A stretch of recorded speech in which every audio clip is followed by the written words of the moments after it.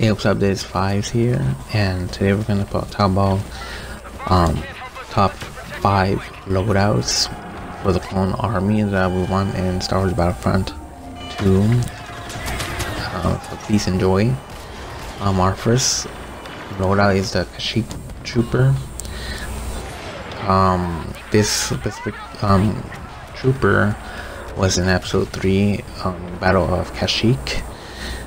Um, because it's really good because like it's camouflage, they will not see you, and their visors and armor looks really badass for uh, engagement or scouting enemies.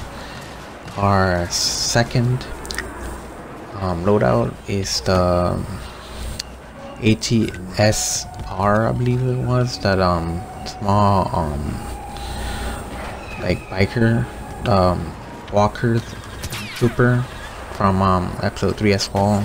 I forgot the name of it, I'm sorry. Um it's really good because it's just like the Kashyyyk armor but like with like these cool um visors and stuff. Sorry, um our third loadout is the ARC Trooper. Now these this loadout is really cool because of um trooper using like Fives uh, and um, Rex.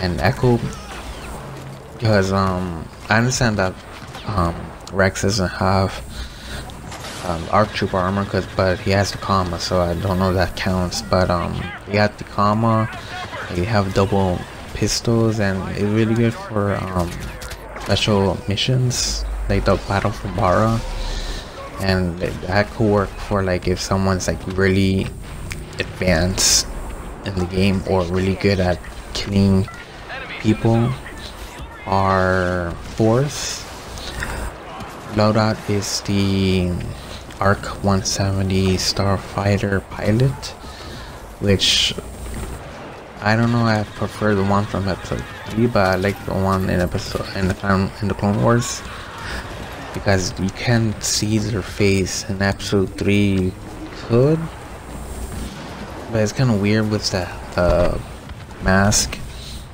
or the visors. And our last um, loadout is the commando unit um, loadout that uh, Captain Gregor used in the Clone Wars, and those are really good. I hope they um, bring that in the game. Cause I really want to try to use it to see how is that how is it good, if it's good or not.